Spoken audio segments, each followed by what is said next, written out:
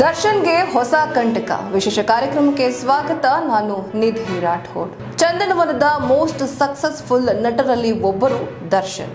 ಅದೇನೋ ಮಾಡಕ್ ಹೋಗಿ ಮತ್ತೇನೋ ಮಾಡಿ ಇದೀಗ ಪರಪ್ಪನ ಅಗ್ರಹಾರ ಜೈಲು ಪಾಲಾಗಿದ್ದಾರೆ. ಲೈಟ್ ಬಾಯ್ ಆಗಿ ಸ್ಯಾಂಡಲ್ವುಡ್ನ ಪ್ರವೇಶ ಮಾಡಿದ್ದ ದರ್ಶನ್ ತದನಂತರ ಬಾಕ್ಸ್ ಆಫೀಸ್ನಲ್ಲಿ ಸುಲ್ತಾನನಂತೆ ಆಳಿದ್ದು ಸಹ ಸುಳ್ಳಲ್ಲ.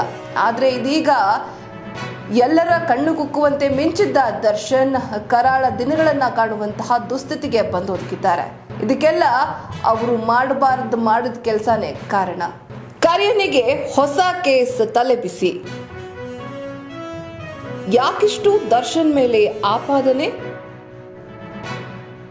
ದರ್ಶನ್ಗೆ ಬಂದಿರುವ ಈ ಸಂಕಷ್ಟವಾದ್ರೂ ಏನು?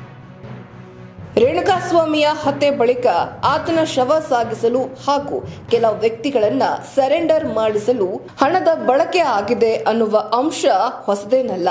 ಬರೋಬ್ಬರಿ ಎಂಬತ್ತೈದು ಲಕ್ಷ ಕ್ಯಾಶ್ ಫ್ಲೋ ಆಗಿರುವ ಬಗ್ಗೆ ಆದಾಯ ತೆರಿಗೆ ಇಲಾಖೆಗೆ ಮಾಹಿತಿ ಸಿಕ್ಕಿದ್ದು, ದರ್ಶನ್ ಮನೆ ಮೇಲೆ ದಾಳಿ ಮಾಡುವ ಬಗ್ಗೆ ಇಪ್ಪತ್ನಾಲ್ಕನೇ ಎಸಿಎಂಎಂ ಕೋರ್ಟ್ಗೆ ಅನುಮತಿಯನ್ನ ಕೋರಿದ್ದಾರೆ. ಇದನ್ನ ಇದಾದ ನಂತರ ಬಳ್ಳಾರಿಯಲ್ಲಿ ಏಕಾಂತವಾಸದಲ್ಲಿರುವ ಕೊಲೆ ಆರೋಪಿ ದರ್ಶನ್ಗೆ ನೋಟಿಸ್ ಸಹ ನೀಡಿದ್ದಾರೆ. ಇನ್ನು ನ್ಯಾಯಾಲಯ ಮನೆ ಮೇಲೆ ದಾಳಿ ನಡೆಸೋದಕ್ಕೆ ಅನುಮತಿಯನ್ನ ಸಹ ನೀಡಿದೆ ಎನ್ನಲಾಗ್ತಾ ಇದ್ದು, ನಿನ್ನೆ ದರ್ಶನ್ನನ್ನ ಭೇಟಿ ಮಾಡಿರುವ ಐಟಿ ಅಧಿಕಾರಿಗಳು ಹೇಳಿಕೆಯನ್ನ ದಾಖಲಿಸಿಕೊಂಡಿದ್ದಾರೆ. ದರ್ಶನ್ ಇನ್ನು ಕೊಲೆ ಕೇಸ್ನಿಂದಾನೇ ಆಚೆ ಬಂದಿಲ್ಲ. ಅದಾಗಲೇ ಮತ್ತೊಂದು ಸಂಕಷ್ಟ ಅವರ ಮೇಲೆ ಒಕ್ಕರಿಸಿದೆ ಕೊಲೆ ಪ್ರಕರಣವನ್ನ ಮುಚ್ಚಾಕೋದಿಕ್ಕೆ ಅಥವಾ ಅವರ ಪಾತ್ರ ಅಲ್ಲೇನೂ ಇಲ್ಲ ಅಂತ ಬಿಂಬಿಸೋದಿಕ್ಕೆ ಅವರು ಖರ್ಚು ಮಾಡಿದ್ದ ಹಣ ನ್ಯಾಯಯುತವಾಗಿದೆಯೇ?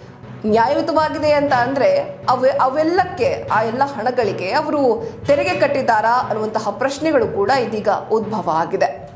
ಇದು ಒಂದು ರೀತಿ ಬೆಂಬಿಡದ ಭೂತದಂತೆ ಕಾಡ್ತಾ ಇದೆ. ಒಂದು ಬ್ಯಾಡ್ ಟೈಮ್ ಹಾಗಾದ್ರೆ ದರ್ಶನ್ ಇದರಿಂದ ಎಸ್ಕೇಪ್ ಆಗೋದಕ್ಕೆ ಸಾಧ್ಯ ಅವರು ಒಟ್ಟು ಬಳಸಿದಂತಹ ಹಣ ಎಷ್ಟಿದೆ ಅನ್ನೋದನ್ನ ನೋಡೋಣ. ಕೊಲೆ ಕೇಸ್ ಮುಚ್ಚಿ ಹಾಕಲು ಎಂಬತ್ತೈದು ಲಕ್ಷ ಕ್ಯಾಶ್ ಹಣದ ಮೂಲ ಕೆದಕಿದ ಆದಾಯ ತೆರಿಗೆ ಇಲಾಖೆ.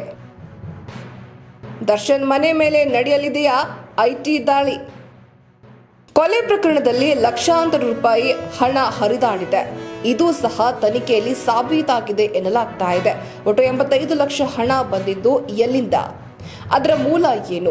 ಹಾಗೂ ಆ ಹಣಕ್ಕೆ ತೆರಿಗೆ ಕಟ್ಟಿದ್ದಾರಾ ಎಂಬುದರ ಬಗ್ಗೆ ಇದೀಗ ತನಿಖೆ ನಡೆಸಲಾಗ್ತಾ ಇದೆ. ಒಂದು ವೇಳೆ ತೆರಿಗೆ ಕಟ್ಟಿದ್ದಿದ್ರೆ ದರ್ಶನ್ ಮೇಲೆ ಇನ್ನೊಂದು ಕೇಸ್ ದಾಖಲಾಗುವ ಸಾಧ್ಯತೆ ದಟ್ಟವಾಗಿದೆ.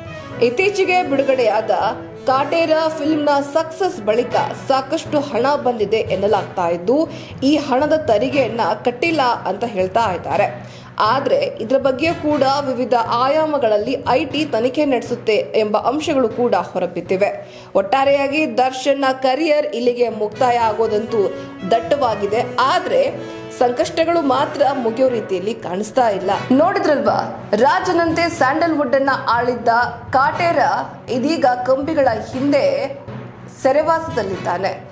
ಇಂತಹ ದುಸ್ಥಿತಿಗೆ ಅವರು ಮಾಡಿದಂತಹ ಕುಕರ್ಮಗಳೇ ಕಾರಣ.